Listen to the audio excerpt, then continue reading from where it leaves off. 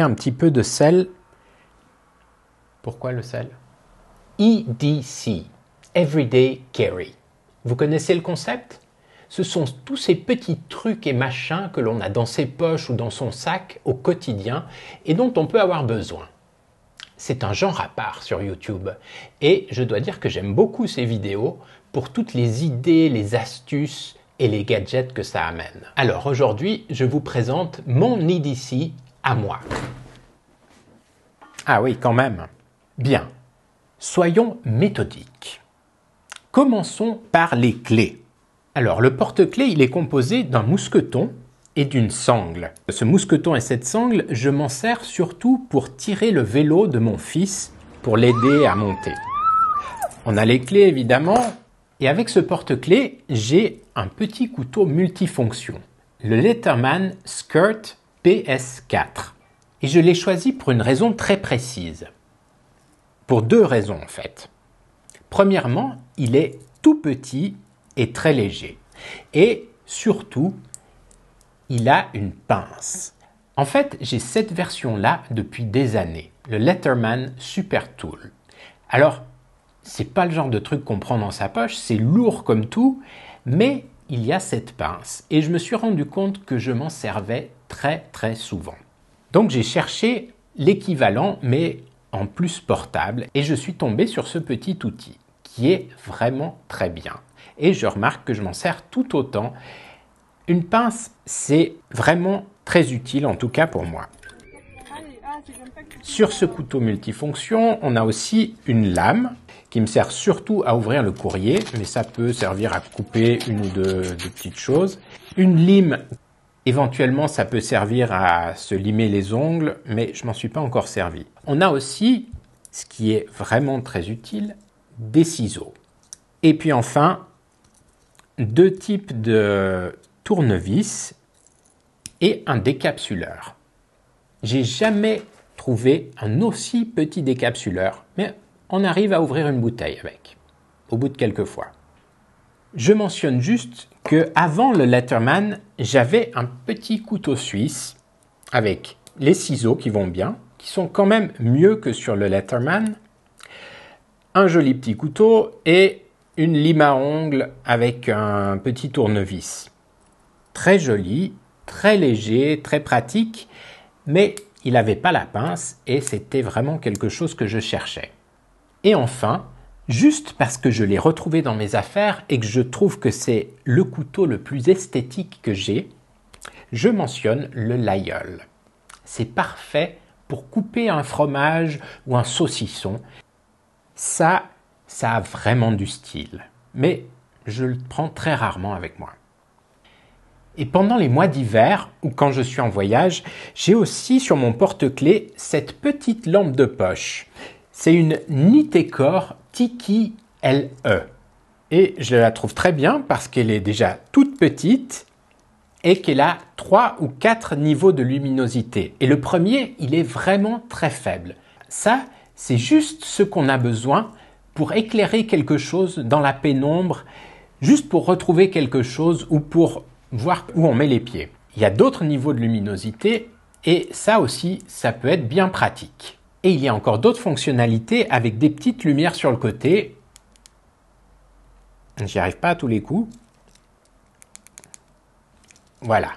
Une lumière rouge, une lumière bleue et la lumière top délire. Voilà, j'ai pas encore montré ça à mes enfants, mais je crois qu'ils adoreraient. Je sais pas à quoi ça sert. À attirer l'attention peut-être. Je crois que le tout est waterproof, euh, mais j'en suis pas sûr. Et enfin, ce qui est pas mal, c'est que ça se recharge par USB. Donc une fois de temps en temps, on recharge ça directement. C'est vraiment tout petit et bien utile. Comme téléphone portable, j'ai un Samsung Galaxy A7 2018. Il commence à dater, et j'ai changé plusieurs fois la protection de l'écran, mais là c'est de nouveau fendu depuis euh, des mois et je rafistole ça avec un petit peu de scotch. Il est tombé tellement de fois que j'arrive plus à avoir de la netteté sur toute l'image. Il n'y a que certaines zones qui sont nettes, mais ça va pas du tout pour faire des vidéos ou des photos. Qu'est-ce que vous en dites? J'arrive tout juste encore à scanner des codes QR avec ça. Et avec le smartphone, évidemment, des écouteurs pour écouter des podcasts, des livres audio, de la musique et pour faire des appels. Parce que j'aime pas vraiment avoir ça tout près de ma tête. Là, les écouteurs, ce sont les Marshall Headphones Mode. Et je les ai depuis deux ans et le son est vraiment très bon. Une montre, c'est toujours utile pour pas avoir à constamment regarder sur son téléphone quelle heure il est. Et là, celle-ci, eh bien, c'est une montre allemande. Évidemment, j'habite en Suisse. Pourquoi prendre une montre suisse quand on peut prendre une montre allemande? J'aime bien l'esthétique de cette montre. Elle est simple, un peu rétro comme ça, assez classe, je trouve. Elle me plaît bien. C'est une Iron Annie. Je ne sais pas le modèle exactement, mais c'est une édition anniversaire 100 Jahre Bauhaus. Donc ce modèle s'inspire du courant Bauhaus et je trouve ça plutôt réussi.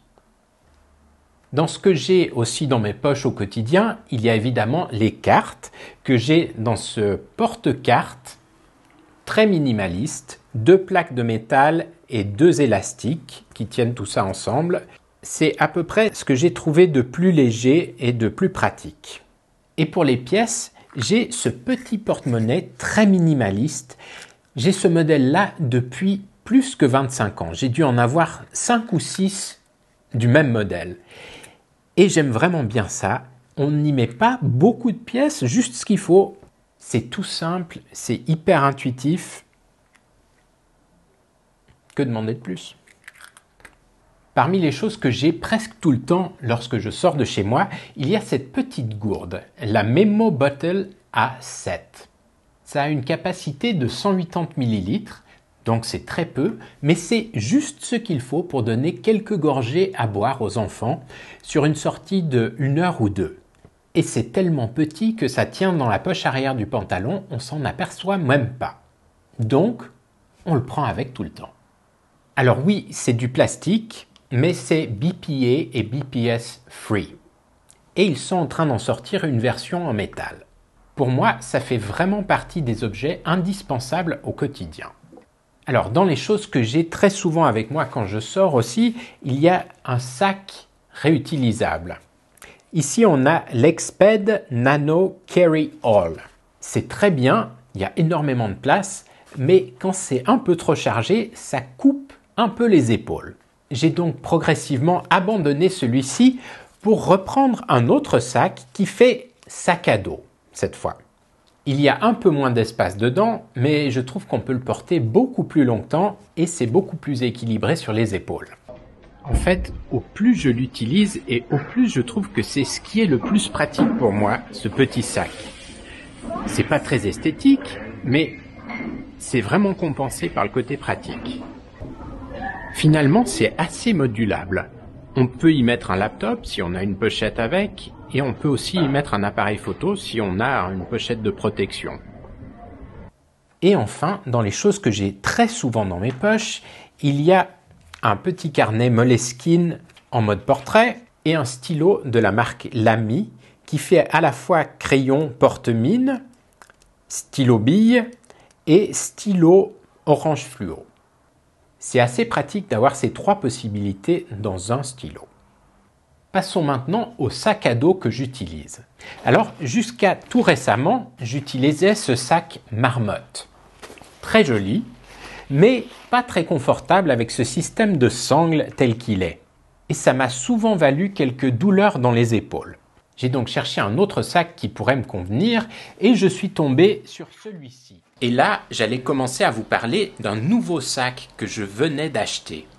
Seulement, je ne l'avais pas encore bien utilisé.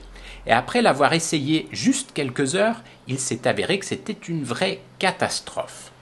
À tel point que j'en ai fait une vidéo pour vous expliquer tout ça. Elle est ici. Et en attendant, pour la présente vidéo, ne faites pas attention à ce sac. Mais aussi à cette pochette-là, dans laquelle j'ai souvent plein de choses euh, utiles, ou pas. Des lunettes de soleil, de la marque Easy Peasy, des masques chirurgicaux. Bon, ça, je crois que ça va rester avec le vieux sac. Alors, pour les mois d'hiver, on a déjà ce tour de cou en laine mérino. Ça, c'est quelque chose qui prend absolument pas de place et qui est vraiment, vraiment très bien à avoir avec soi. Dès qu'il peut faire un petit peu froid, pour moi, c'est vraiment un des articles de voyage indispensables. Et pour compléter, il y a ce bonnet Icebreaker en laine mérino. Voilà, ça prend pas de place, ça peut vraiment être utile en Suisse en hiver quand on est dehors pendant quelques heures. Et ça passe aussi pour les enfants. Avec le tour de cou, on peut aussi faire un bonnet. C'est vraiment pour les situations d'urgence. Continuons.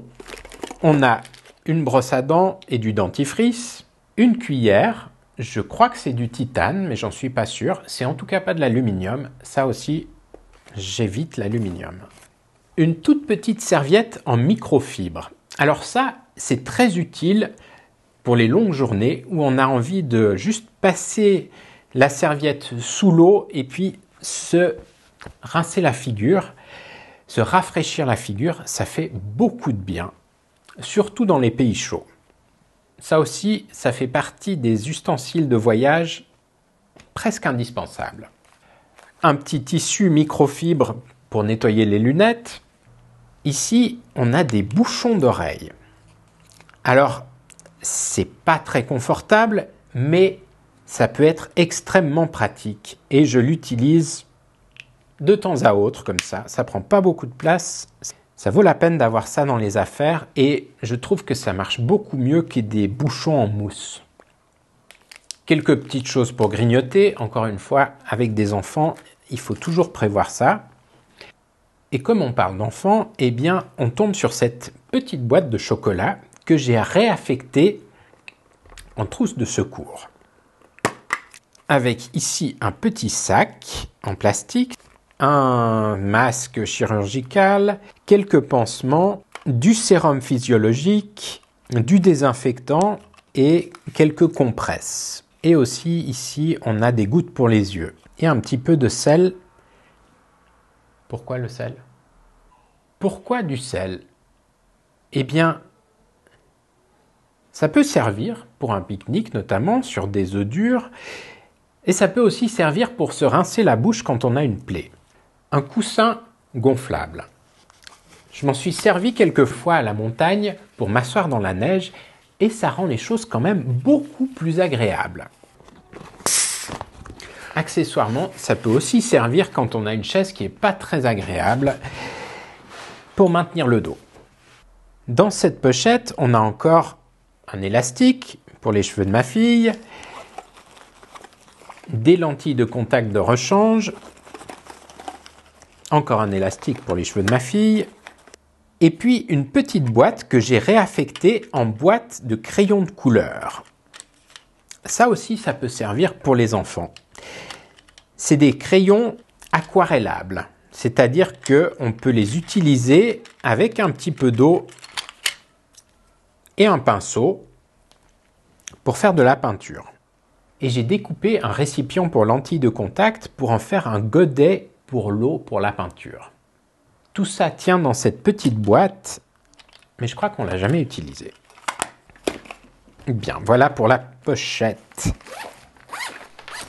Et pour tout ce qui est technologie, ce sera dans une autre vidéo. Bon, je crois qu'on y est. Comme vous aurez pu le constater, je ne suis pas du genre à voyager léger. J'aime bien les gadgets, j'aime bien avoir plein de choses avec moi potentiellement utile, j'aime l'esthétique, j'aime la qualité aussi, j'aime ce qui est pratique, j'aime avoir avec moi des choses qui, je le sais, vont me servir. Voilà, j'espère que cette vidéo vous aura été utile et qu'elle vous aura donné une idée ou plusieurs. Je vais mettre dans les notes de la vidéo, ici en dessous, les références pour ces différents articles. Merci beaucoup d'avoir regardé cette vidéo à très bientôt.